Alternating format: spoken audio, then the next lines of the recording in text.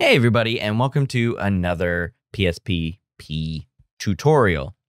In this tutorial, we are going to quickly talk about how to do a Pearson correlation in this uh, in this in, in this program.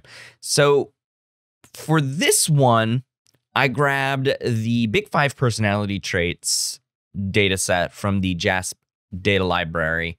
Uh, I'm a fan of the data library. I don't know if you can tell if you've watched the other videos, but I'm a fan of this this library, and this particular one is from Dolan, Oort, Stoel, and Wicherts testing measurement variant invariance in the target rotated multigroup exploratory factor model in a structural equation journal.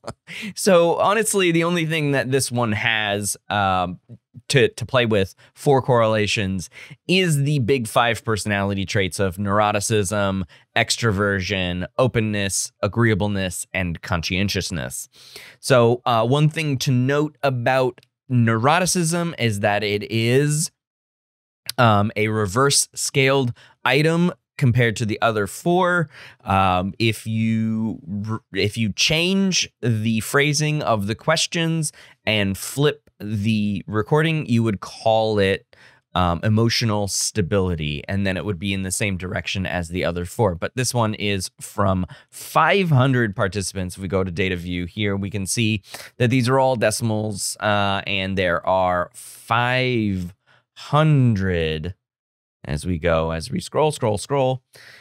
500. Okay. So we should get some pretty good correlations on this one. And um, what we're going to do is we're just going to develop a correlation matrix within PSPP here. So how we do correlations is we go up to analyze as we've done before, and we go to bivariate correlation. So we click on that and this gives us our window. And the only thing that we're going to do is we are going to um, make sure that we click on these. So we click them all over select them all and um, we can do and this is one cool thing is you can do a two-tailed oops, a two-tailed or a one-tailed um, test here to see whether or not these are significant correlations. And um, by default two-tailed is selected but if you have a directional hypothesis you can select one-tailed. I'm going to go ahead and leave it as two-tailed uh, but I also do want it to flag significant correlations for me, so that'll be nice. Uh, we, we, we like getting uh, significant correlations flagged. No other options for this, so we're just going to go ahead and click OK.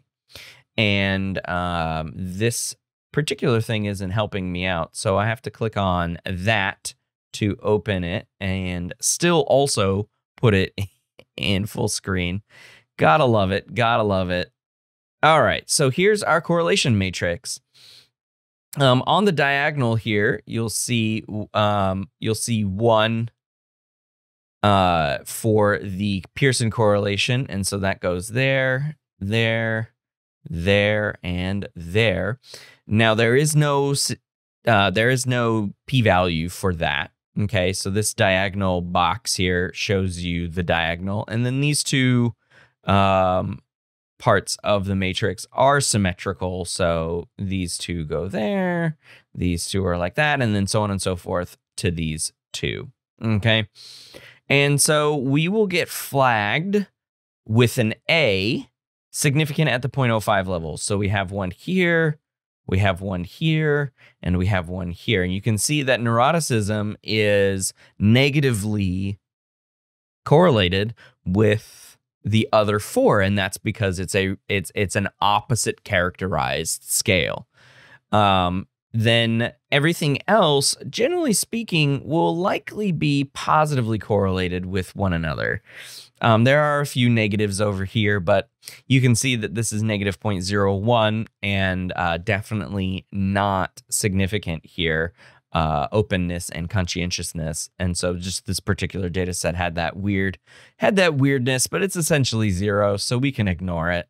Uh, and then there's another positive correlation here.